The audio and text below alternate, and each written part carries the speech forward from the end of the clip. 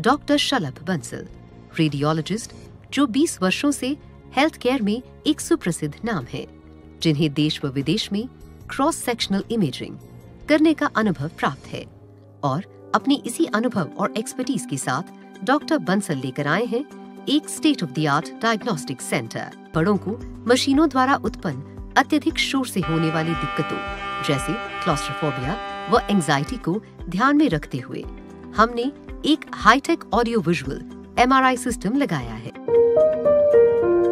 Tesla imaging and diagnostic centre. Bhajpa व्यापारी नेता विनेश शारदा के वयोवृद्ध सगे ताऊजी, चंद्रमोहन के मेरठ शास्त्री नगर एफ़ ब्लॉक स्थित घर पर बदमाशों ने धावा बोलते हुए दो लाख रुपए लूट लिए। बदमाश खुद को सरकारी कर्मचारी बताते हुए भीतर घुसे थे। भीतर घुसते ही उन्होंने चंद्रमोहन गोयल को ज़मीन पर पटक कर गले पर चाकू लगा दिया। चाकू देख वृद्ध कारोबारी ने खुद ही बोल दिया कि उन्हें कुछ मत कहो, जो ले जाना है, ले जाओ।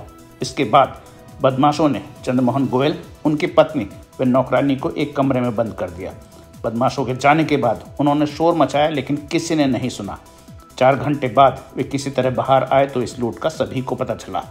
व्यापार के सिलसिले में बाहर गए भाजपा नेता विनेश शारदा ने फ़र्स्ट बार डॉट टीवी को बताया कि बदमाश घर से दो लाख रुपए कैश ले गए हैं।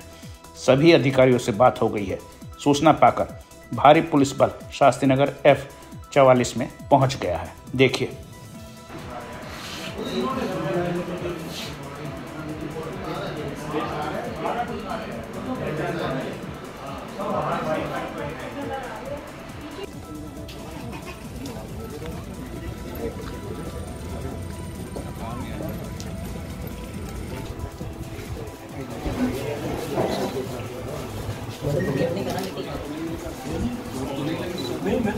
तो मैं भी अपने लिए पढ़ता ना ज़मीन पर चाप रखा नहीं आता मैंने कभी लिया जो आपको चाहिए वो लास्ट कॉल समझाएगा इस बारे में पीड़ित चंद्रमोहन गोयल ने यह जानकारी मीडिया को दी। मेरा नाम चंद्रमोहन गोयल। सर क्या घटना हुई आज आपके घर में? है जी। क्या घटना हुई आपके घर में सर? दो बंदे आए। और उन्होंने पहले मुझे ज़मीन पर गिरा दिया, एक बंदे ने, और चाकू रख दिया मेरे यहाँ पर। तो मैंने उनसे हाथ जोड़ लिया, मैंने कहा, बेटा, मुझे मारना मत, नहीं, बाकी जो तुम्हें चाहिए तुम ले जाओ। तो फिर वो मुझे अंदर लेके गए, मैं मेरे को, और ये मेरे खाना बनाती हैं इनको। और अंदर ले जा कर के चाबी लाओ, चाबी मैंने बता दिया कहाँ रखी है। उन्होंने अलमारी खोली, रुपए लिए और मैं मेरी वाइफ और इसको तीनों को इस कमरे में बंद करके चले गए। फिर चार घंटे बाद हम कमरे से बाहर निकले। जब है? जी? हार्डली मेरे ख्याल से ज़्यादा देर तो रहे नहीं वो। क्या क्या सामान लेके गए? कुछ नहीं रुपया वो। रुपया? दो लाख रुपया। पचास पचास हज़ार के चार पैकेट। वो कैसे अंदर आए? अंदर कैसे आए? वो इस दरवाजे से है ना। किवाड़ बंद थे उन्होंने कहा कि किवाड़ खोलो हमें गवर्नमेंट के आए हम गवर्नमेंट से आए लड़कियों के लिए कुछ वो चाहिए डोनेशन टाइप का। तो मैंने कहा चलो कोई बंदे होंगे। उसने आते ही मुझे पटक दिया ज़मीन पर। मैं तभी समझ गया मैंने का मामला जो है। चार घंटे बाद कमरे से कैसे निकाले चार घंटे बाद मेरे पड़ोस पड़ोस वालों ने आके निकाला मुझे। हम हम तीन जने थे मैं मेरी वाइफ और मेरी एक कुक सर क्या क्या कारोबार करते हैं मेरा कारोबार करता था अब कुछ नहीं करता। बच्चे वगैरह हैं? बाहर हैं। Out of out of India हैं।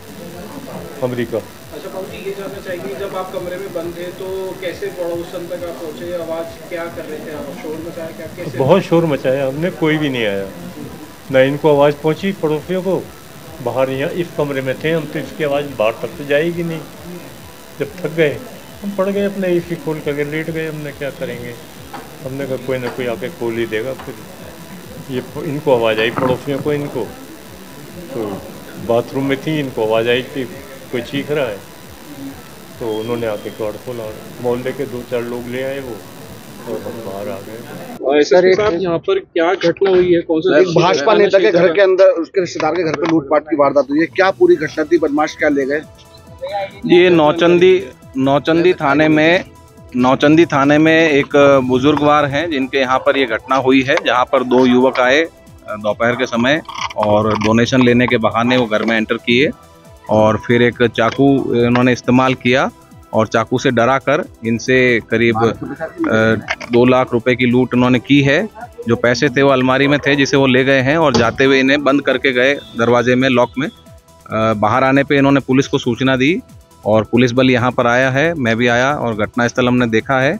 जो हमारी टीमें लगी हैं वो शीघ्र ही इस केस का अनावरण करेंगी और जो भी इसमें आगे कार्रवाई होगी वो विधिक कार्रवाई इसमें की जाएगी।